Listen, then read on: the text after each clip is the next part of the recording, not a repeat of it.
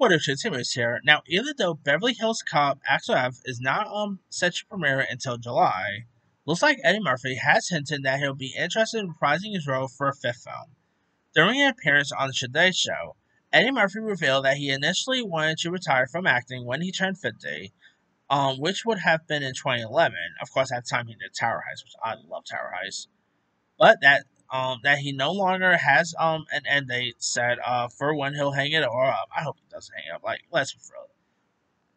Eddie Murphy really does not look like he is. Like, I believe he's 61 now, and I'm sorry, he does not look like he really don't look uh 60 at all. But anyway, uh here's what he has saying. Um I think I will keep being um a creative person till the day I die. Um Murphy has also shared that he wouldn't mind playing Axel Foley again, stating, I hope so because this movie turned out um, so good, especially if you grew up watching the movie, then you'll uh, really, really love, uh, love this new picture. It may have, of course, been three decades since Eddie Murphy last played Axel Foley, but it seems like no um, time has passed at all. Murphy first appeared as Axel Foley in 1984's Beverly Hills Cop, um, of course, there was supposed to be a TV show on CBS back in 2013, but that never really came to fruition. Um, I'm happy that, like, I'm definitely excited for another Beverly Hills Cop Axel F. I mean, let's see how it turns out. Obviously, if it's terrible, we'll be like, yeah, I'll be fine if we don't get fifth one. But uh, hey, this is coming to Netflix. I could totally see it maybe doing a lot better on Netflix. Maybe that's kind of why they're releasing this thing on Netflix rather than straight to theaters release because for one, who knows if Eddie Murphy could be a box office draw nowadays. Uh, I mean, there are probably still people who still love Eddie Murphy, including me. Like, if, if this was released in theaters, I'd be 100% going on to watch in theirs. But that's just me. Who knows if other people feel the same way and all. Um, and who knows, like, if this movie, if this came out, will it be as good in theater? Like, will it make, let's say, um, Bad Boys money or not?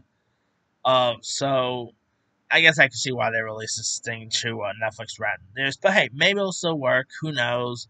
Um, maybe if it like does well on Netflix, we'll hear an announcement of a part five and all. So, hey, Will Smith is still doing more Bad Boys. Like a part five Bad Boys is still um in the like is being talked about, and Will Smith still has it. So let I'm sure Eddie Murphy still has it too. Again, the guy does not look. I, he's 61 or 60. He's pretty much um like past 50 now. Let's Eddie Murphy still looks the same, you know. Like I feel like Eddie Murphy just age at 50 and just c- continue to stop aging, you know. Uh, but hey, Eddie Murphy could do no wrong, right? Maybe except for Norbit, uh, Pluto Nash, blah blah blah. But hey, I'm I'm definitely all for more uh, Axel Foley. So whether another one actually happens, that has to be and see.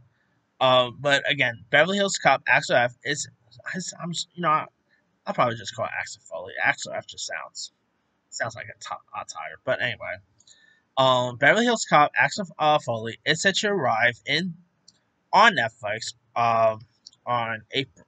What is such arrive on Netflix again? Yeah, July third. Uh, let me lead you guys. Uh, what are your thoughts on um, Eddie Murphy teasing a possible another Beverly Hills Cop film? Are you even interested in seeing another one? Are you looking forward to check out uh, Beverly Hills Cop Axel F? Uh, are you a fan of the Beverly Hills Cop franchise? And are you are you a fan of Eddie Murphy just in general? And what's some of your favorite Eddie Murphy films? Drop comments below. Don't forget to like, subscribe, hit that bell for notification. This is Simon Simon.